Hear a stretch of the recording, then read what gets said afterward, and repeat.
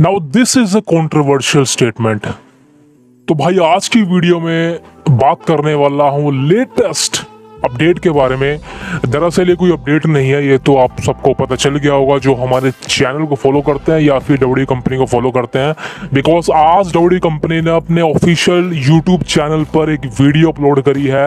ये वीडियो बहुत पहले से रूमर थी आने वाली है। ये है रसल मेनिया फोर्टी का पूरा का पूरा चिट्ठा, यानी कि डॉक्यूमेंट्री कह लीजिए, इसको कर्टेंस कह लीजिए, जो मर्ज़ी कह लीजिए रसल मेनिया फोर्टी कैसे हुई थी, क्या प्लानिंग थी, सारी चीज़ें रिवील कर दी गई है। आज यूट्यूब पर करीब तकरीबन एक घंटे का इनका वीडियो पैकेज अपलोड हुआ है।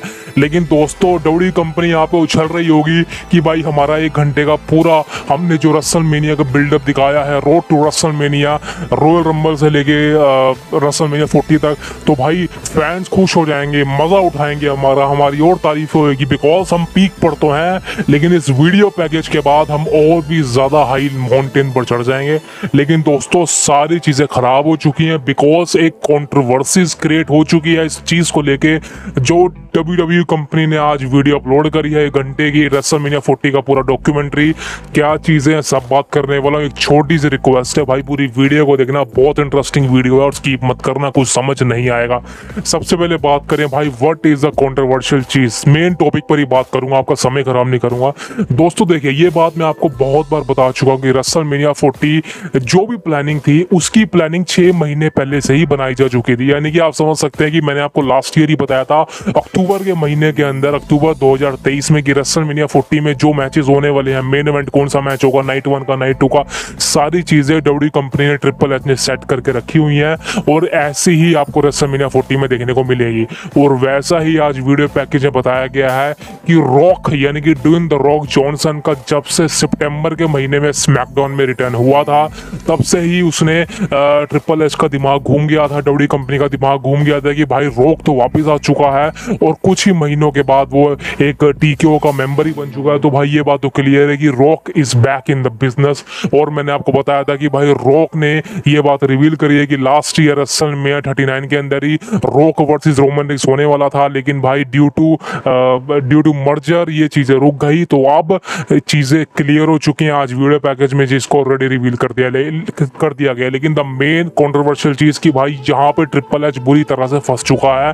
ट्रिपल एच ने कुछ ऐसी चीज़ें रिवील कर दी हैं, जो भाई मेरे को समझ नहीं आ रहा, ये अक्ल का अंधा है, या दिमाग से पैदल है, या बंटा है, काना है, क्या है भाई?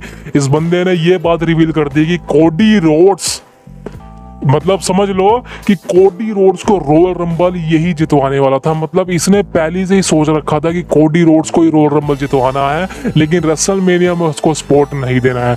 चीज़ें क्या मैं बताता हूँ आपको आपको, आप सबको पता है कि जब तक जब तक रोक नहीं था, तब तक रेसल मीनिया फोर्टी का मेन इवेंट सेट था।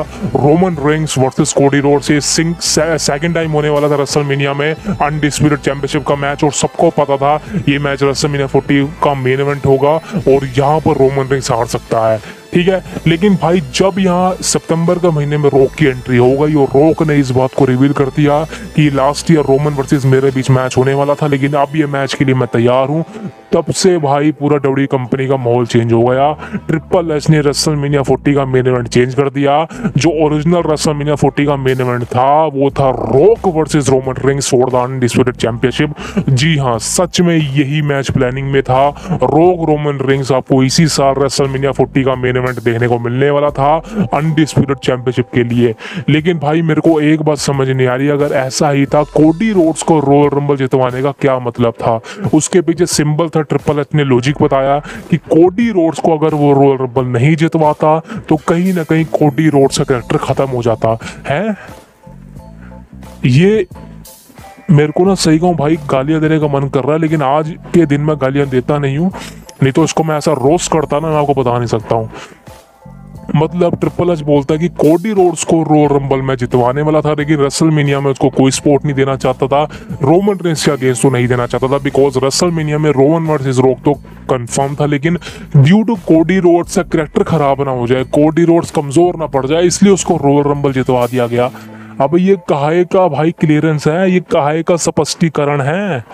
अबे तेरे पास सबसे बड़ा स्टार था जो कंपनी में दस सालों के बाद रिटर्न करा, जिसने the best in the world C M Punk.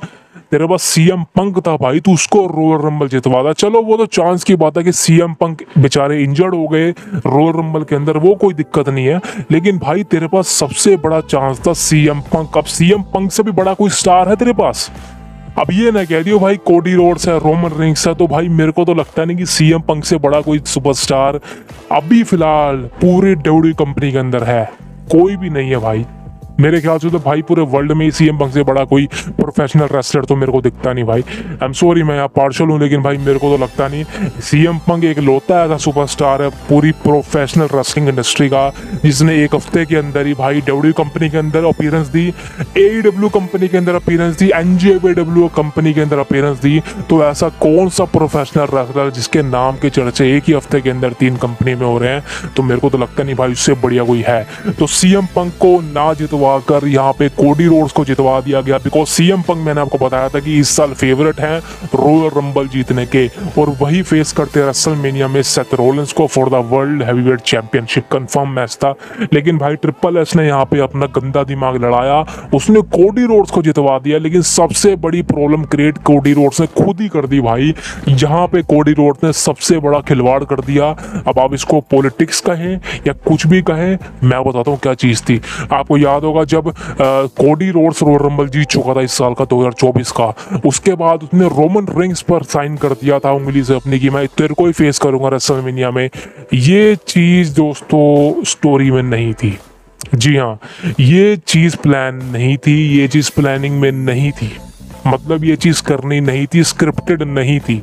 मतलब ये चीज़ कोडी रोड्स ने खुद ही अपनी मर्ज़ी से कर दी कि उसने रोमन रेंज की तरफ़ उंगली कर दी और उसको साफ़ इशारा कर दिया इंडिकेट इंडिकेशन दे दिया कि मैं तुझे फेस करने वाला हूँ। बिकॉज़ आप खुद सोचिए रोमन रिंग्स ने एक तरफ़ के लिए रोमन रिंग्स भी चौक गया था, भाई, ये मेरी तरफ़ क्यों कर रहा है? क्योंकि ये तो प्लान था ही नहीं। ये तो प्लान था ही नहीं। फिर पोले मनने का अपना टाइटल दिखा उसको।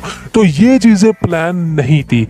लेकिन भाई ड्यू टू फैंस का इसके ऊपर रिएक्शन अच्छा आया फैंस ने इस चीज़ को पसंद किया तो भाई ट्रिपल एस ने कोडी के डिसीज़न के साथ जाना सही समझा। बिकॉज़ ट्रिपल एस ने तो भाई ये बोला है कि भाई कोडी रोड्स को फैंस पसंद कर रहे हैं। वो रसल में रोक रोमन नहीं, बल्कि कोडी और रोमन देखना चाहते हैं। इस वजह से ये मैच को उसने रसल मीनिया में कराने का सही समझा। नहीं तो कोडी रोड्स का ओरिजिनल प्लान था सेथरोलेंस को फेस करना for the world heavyweight championship लेकिन आपको पता ही है भाई, ये पॉलिटिक्स थी। कोडी रोड्स ने यहाँ पे रोमन इस तरफ़ इशारा करा और भाई खुद को टिकट दे दी लेकिन इसी वजह से आपको कोडी रोड्स वर्सेज रोमन देखने को मिला बिकॉज़ बीच में रोक भी आ गए थे रोक रोमन होना था, लेकिन भाई फैंस ने चीज़ को पसंद नहीं किया, क्योंकि सब चाह रहे थे कोडी अपनी स्टोरी को फिनिश कर दे रसलमेनिया के अंदर, और फाइनली ये चीज़ आपको देखने को मिली। So this is a totally भाई पॉलिटिक्स डब्ल्यू कंपनी के अंदर, कि भाई कोडी रोड्स जिसको तो मैं मैं मैं खुद आपको कह रहा था कोडी रोड्स के रोल रंबल जीतने के चांसेस थे ही नहीं भाई। कोडी रोड्स चेंबर को जीतने वाला था, फिर वो रसल महीने में रोमन को फेस करता, लेकिन भाई मुझे नहीं पता कि कोडी रोड्स को back to back Royal Rumble क्यों जितवाया गया। अभी चलो, कोई दिक्कत नहीं, अभी सब सही है। चलो पास की बातें नहीं करेंगे फ्यूचर की बात करते हैं। अभी कोडी के लिए स्टोलन सही चल रही है बिकॉज़ सोलह से ब्लड लाइन इंक्लूड है। लेकिन ये चीज़ मैं आपको लिख के दे रहा हूँ दोस्तों, ये चीज़ आप लिखवा लीजिए मेरे से। लिख के ले लो। आज मैं खुद आपसे कह रहा हूँ बिकॉज़ एक समय पे मैं ही चीज़ को इग्नोर कर रहा था। एक साल एक साल, यानी कि रसल मीनिया फोर्टी वन तक रुक जाइए आप। कोडी रोड्स पर फैंस इस तरह से टर्न करने वाले हैं ना, मैं आपको बता नहीं सकता।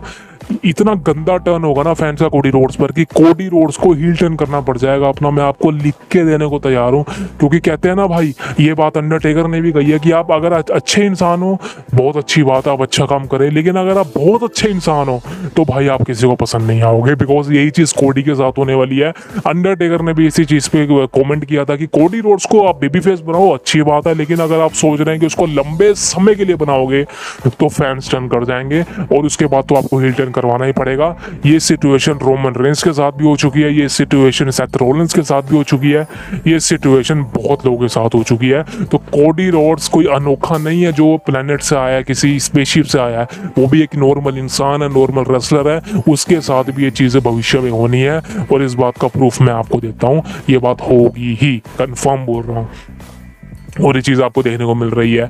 अब एक और चीज़ बताऊँ मैं आपको अंदर की चीज़, वो ये है कि रसल मीनिया 41 का मेन इवेंट जो कि आपको पता है सेट है पहले से, लेकिन रसल मीनिया 41 के लिए ऑलरेडी ट्रिपल एस ने डोडी कंपनी ने प्लान सेट कर लिया है। मैंने आपको बता चुका है कि रसल मीनिया 41 में अनडिस्प्यूटेड चैंपियनशिप का मैच होने वाला है। रोक वर्सेस कोडी रोड्स ये चीज़ कन्फर्म है। रोक वर्सेस कोडी रोड्स का ही मैच आपको रसल मीनिया 41 में देखने को मिलने वाला है। अगर बहुत से लोग सोच रहे हैं कि रोमन वर्सेज रोक होगा तो भाई आप उसके लिए सबसे गलत है, ऐसा नहीं होने वाला।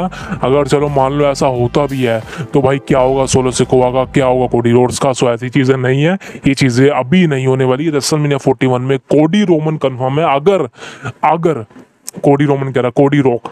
अगर यहाँ पर रोक अपना जो है मेडिकली क्लियर हो पाते हैं, अपनी इंजरी से सही हो जाते हैं। नहीं तो भाई ये बैकअप प्लान है, वो है कोडी रोड्स बनाम Randy Orton for undisputed championship जी हाँ अभी समर स्लैम के लिए ओटन के प्लान थे, लेकिन ओटन को लगता है कहीं ना कहीं अभी लंबा खेचेंगे फेस टर्न में। लेकिन मेरे को लगता है कहीं ना कहीं चीज़ें रॉयल रंबल या फिर रसल मीनिया में आसपास गुजरेंगी। लेकिन रसल मीनिया फोर्टी में बैकअप प्लान है कोडी वर्सेज रेंडी ओटन ये बात कन्फर्म मान लीजिए। बिकॉज़ उसके अलावा तो कोई प्लान नज़र नहीं आ रहा, लेकिन ड्यू टू दिस पॉलिटिक्स आपको समझ आ गया होगा कि WWE कंपनी भाई किस तरह से पॉलिटिक्स करती है और बिल्कुल करती है। भाई, आप खुद सोचिए ना कि आप खुद सोचिए ट्रिपल एस ने इस बात को कबूला भी था। लेकिन ट्रिपल एच के हाथ में ज़्यादा कुछ नहीं है। अगर आप सोच रहे हैं कि ट्रिपल एच डिसीज़न खुद लेता है ट्रिपल एच सब कुछ करता है तो भाई ऐसा नहीं है। टीकेओ एक चीफ कंटेंट ऑफिसर है, यानी कि सीसीओ है। वो मैच के रिज़ल्ट सेट करता है, लेकिन भाई सारे डिसीज़न इंडेवर लेता है डीकेओ लेता है। तो ये मत बोलिए कि ट्रिपल एच ने सब कुछ किया, लेकिन हाँ पॉलिटिक्स होती है, और कोडिडोर्स के मामले में आप पॉलिटिक्स दे ही चुके हैं। अब जो लोग तो रोक रोम देखना चाहते थे, जो इन दोनों के फ़ैन हैं, उनके लिए तो भाई पूरी तरह से कॉन्ट्रोवर्सी है, और जमकर लताड़ रहे हैं कोडी रोड्स के फैंस को कोडी रोड्स को, और जो कोडी रोड्स के फ़ैन है, वो भाई इनको लताड़ रहे हैं। तो इन दोनों का तो भाई सोशल मीडिया पे चलता ही रहता है लेकिन अगर मैं आप पर्सनल ओपिनियन बताऊँ, मैं इस चीज़ के बारे में क्या सोचता हूँ दोस्तों? मैं तो इसी इसी चीज़ के बारे में सोचता हूँ कि अगर आप कोडी रोड्स को रोल रंबल नहीं जितवाते, तब भी वो चैंपियन बन सकता था बिकॉज़ अगर आप उसको एलिमिनेशन चेंबर में डालते, तब भी वो रोमन को चैलेंज कर सकता था। लेकिन भाई, आपने कोडी को रोयल रंबल जितवाया बिकॉज़ तब तक तो रोक भी इंक्लूड नहीं था आपके पास। रोक भी रोयल रंबल के बाद ही आया है स्टोर के अंदर। तो भाई, आपको, मेरे को ऐसा लगता है कि कहीं ना कहीं कोडी के अलावा किसी और को जितवा देना चाहिए था रोयल रंबल मैं ये नहीं कह रहा कि आप सीएम पंको को जितवाते लेकिन आप किसी और को भी जितवा सकते थे। चलो जो चीज़ अलग हो गई सारी चीज़ें खिचड़ी पक चुकी थी। आ, समझ समझ ही चुके हो आप सो कोई दिक्कत नहीं भाई। लेकिन मैं आपको सिर्फ़ यही बताना चाहता था कि भाई पॉलिटिक्स हर जगह है और आज आपने वर्ल्ड रेसलिंग एंटरटेनमेंट में भी देख चुके हो। So this is a latest update guys this is a controversial अगर आप मेरे को बताइए कॉमेंट में आपको अच्छी लगी नहीं अच्छी लगी क्या सोचते हैं इस बारे में भाई प्लीज़ इस request subscribe the cult of wrestling subscribe कर दो भाई इग्नोर मत करो वीडियो लाइक करो शेयर करो दोस्तों के साथ see you next thank you very much